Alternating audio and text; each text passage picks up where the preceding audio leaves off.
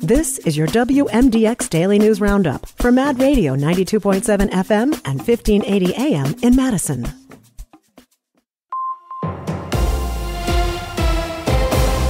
Civic Media News.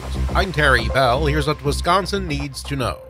Vice President Kamala Harris campaigns in Wisconsin today as the newly minted Democratic frontrunner for president. She's speaking in Milwaukee. It is my intention to go out and earn this nomination and to win. That's Harris speaking yesterday at the former Biden campaign headquarters in Delaware. Virtually all of Wisconsin's Democratic delegates are supporting her at their convention next month. And practically all of Wisconsin's top elected Democrats are endorsing Harris for president. That list includes Governor Evers and U.S. Representatives Gwen Moore and Mark Pocan. Other endorsements are coming from Senator Tammy Baldwin, Madison Mayor Satya Rhodes Conway, and Milwaukee Mayor Cavalier Johnson. 89 of Wisconsin's 95 delegates to the Democratic National Convention say they're supporting Kamala Harris for president. Wisconsin Democratic Party Chair Ben Wickler. I have not heard anyone uh, share with me that they would oppose Vice President Harris as the nominee of our party, and I have every confidence that uh, as we move to November, we will be fully united as a party. Everything old will be new again at this year's Democratic Convention. Delegates and not primary voters will choose the nominee for the first time in about 50 years. Mike Wagner teaches journalism and politics at the University of Wisconsin in Madison. Primaries were not binding uh, until the 1970s, and so we're really in, in some in, in in a small way kind of reverting back to a convention where the party elites uh, will be choosing uh, the nominee. That's Wagner speaking with Civic Media. Lockdowns are lifted at two troubled Wisconsin state prisons. Green Bay and Waupun were locked down for several months. Four inmates died at Waupun during that time. Calls are growing to close the Green Bay prison. Mercury Marine is laying off 1,700 workers temporarily to make production adjustments. The layoffs will happen a week at a time for a total of up to eight weeks now through the end of the year and will impact mostly hourly employees. Mercury made 300 permanent job cuts last month. The company blames lower demand. Two people are dead after a plane crash near the EAA Air Venture in Oshkosh yesterday, the first day of the world's largest fly in.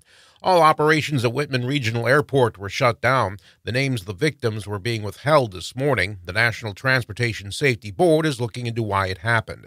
I'm Terry Bell, Civic Media News. Now here's what you need to know closer to home.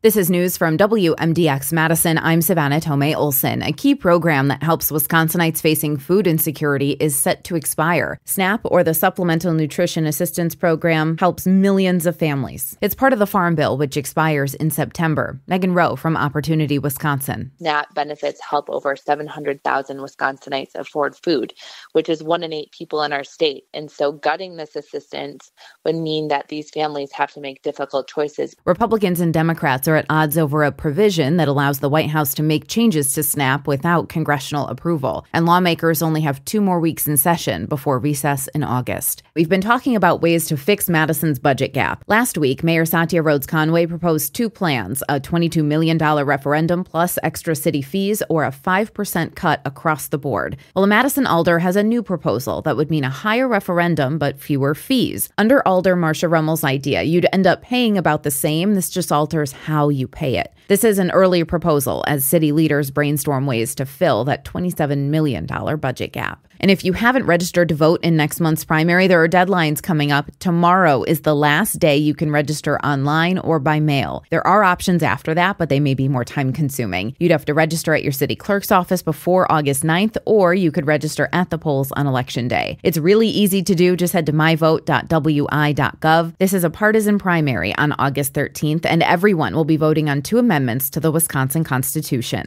And after nearly 50 years in business, A1 Furniture and Mattress is closing. It's been family owned here in Madison since 1980. They once had two locations, one on the west side off the Beltline near Todd Drive and another on Stoughton Road. There are closing sales all week at the East Side store. 43 dairy herds in six states have confirmed bird flu infections. The USDA says right now the highly pathogenic avian influenza has not been detected in Wisconsin cattle, poultry, or wildlife. H5N1 is in states around us, including Iowa, Michigan, and Minnesota. The FDA says the commercial milk supply is safe because of pasteurization, and the USDA is confident meat is safe too. All cows brought to the Wisconsin State Fair next week will need to test negative for bird flu.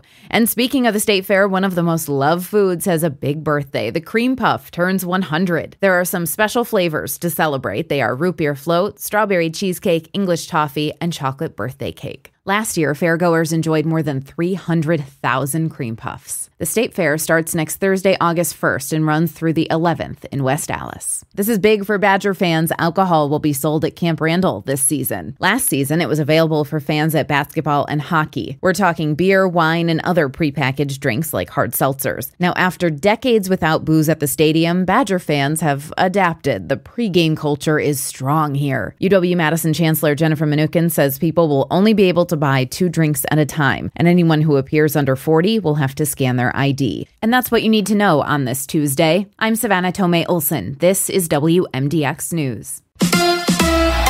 The Brewers lose to the Cubs. Hi, I'm Mike Clemens with sports. The Brewers and Cubs battled at Wrigley Field. Chicago went through six pitchers to keep the Brewer bats at bay. Milwaukee made some costly errors in the field and lost the game three to one. Brewers manager Pat Murphy. You know, our bullpen was a little taxed tonight, but uh, Milner did a great job. And credit to the Cubs, they played in the clutch. They they did what they had to do, and they pitched great. Six different guys, and they they kept us at bay. We had opportunity, and you know didn't didn't get that big hit. Game two of the three game series is tonight tonight. NFL, Jordan Love at practice, but will not suit up until he has a new contract. General Manager Brian Gutekunst talked about the 25 year old quarterback at the team shareholders meeting. Jordan Love.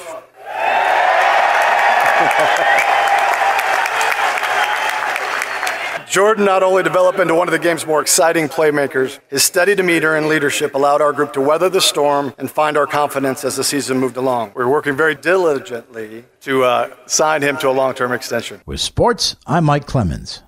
On your entertainment beat, I'm Pete Schwaba. Another box office record falls thanks to Twisters. The Twister sequel opened at number one at last week's box office, pulling in 80 million plus at the gate. It was the largest opening ever for a natural disaster film in America. Twisters is the third biggest opening of the year so far, behind Inside Out 2, which pulled in 155 million in its opening weekend, and Dune Part 2, which pulled in 82 million. As well as Twisters performed domestically, it underperformed overseas, pulling in about 42 million. That's still a lot of scratch. Neon Studios' surprise hit Longlegs continues to have long legs at the box office, pulling in almost 12 million and totaling 44 million in two weekends.